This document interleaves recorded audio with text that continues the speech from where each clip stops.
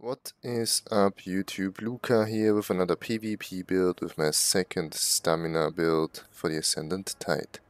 I'm on my Stamina Dragon Knight with a classic Relequen, one Slimecraw, one killed and advancing Yokeda setup. But Big Bar, again the Maelstrom Perfect Greatsword, it's too strong guys, Stampede in combination with Merciless Charge and Carve did in total I think almost 20k single target damage.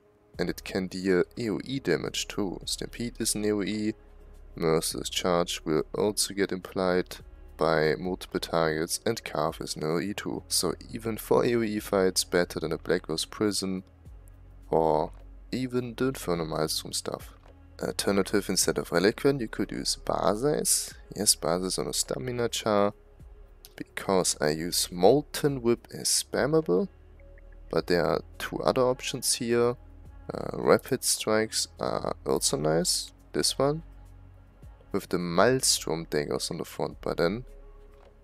Or the Stone Giant, the stones, this one, the spammable, is fine too but I prefer a non-cast or non-chant ability with Molten Whip easygoing, similar to Magicka DK.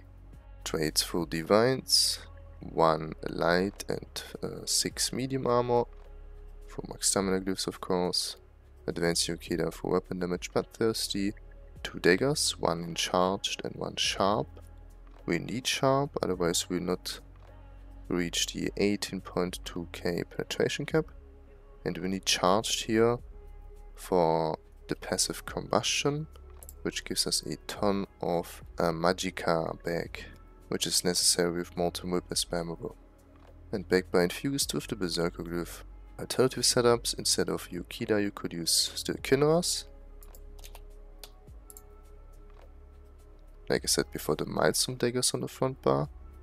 With two pieces Tzogvin for extra crit rate then a Relequen on the body still. But instead of one Slimecraw, we could use Kjalnar's monster set. Two light armor pieces. Here we go. And still killed. So we just would swap Advancing Yokeda for the Monster Daggers, for two pieces Tzogvin, and for two monster set pieces Kiana. And then use Rapid Strikes as spammable instead of Molten Whip. It also works, it had similar results, but like I said before, I don't like those channeled abilities, especially in dynamic boss fights. Skills wise, a lot have changed, since all our skills are scaling with the highest offensive stat, in this case on the Stamina Dragon Knight weapon damage. That's why I used Engulfing Flames.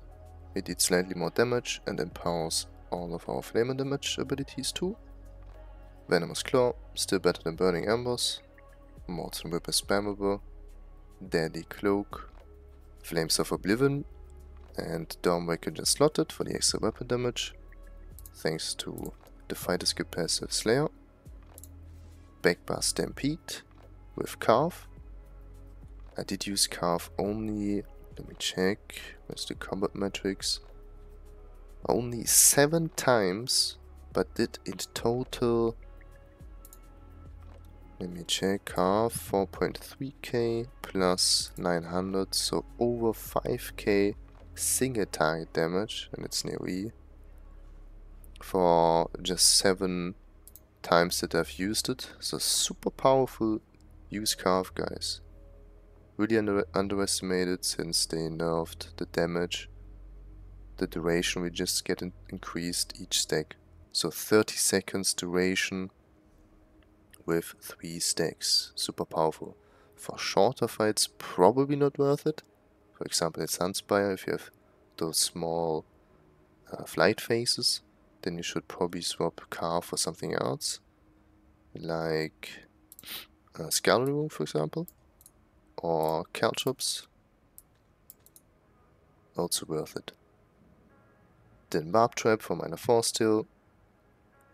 Degeneration which gives major brutality and sorcery, both damage buffs, and camouflage hunter for major savagery, so I have major savagery back bar and front bar.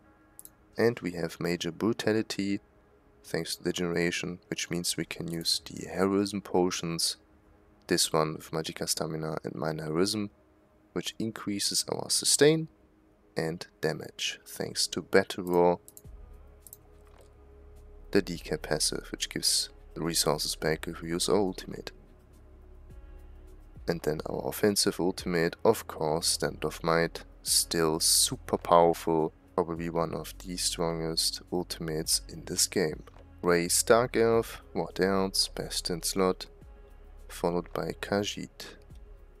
Mundus the Thief Mundus, and Buffroot the Candied Jester's Coins, since we have a lot of Magicka abilities and Molten Whip is spammable.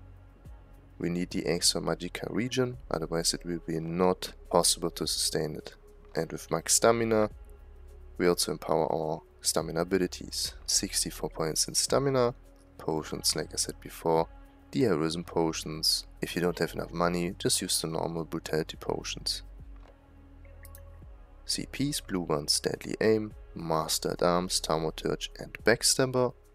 As Khajiit you can destart backstabber for something else, like Wrathful Strikes, this one. Or Biting Aura, this one. If you can't flank the enemy, just use Fighting Finesse instead. Red CPs, Rejuvenation, Fortified, Boundless Vitality and Celerity. Rotation wise, nothing special, it's a classic dot with spam rotation, so keep up every dot, if one expires, reapply it again, and use Molten Whip as spammable in between. By the way, I placed those crates on the sides because of Stampede. We can outmove the clunky animation if we press forward, so W. I just toggled auto walk so I don't have to press W all the time. But don't worry, you don't really need it. I just did it for slightly more damage, probably not even 1k more. There are two small tips on a DK, which are useful. Before the boss fight even starts, make sure to use Flames of Oblivion 3 times in a row, to empower Molten Whip, and to gain Seething Fury for extra spell damage. The other important point is about the ultimate Stand of Might, Try to make sure you have all of your dots up before you use even the banner to empower all of your dots. Now we'll leave you with the parse. If you have questions, type them down below. Thanks for watching guys. See ya.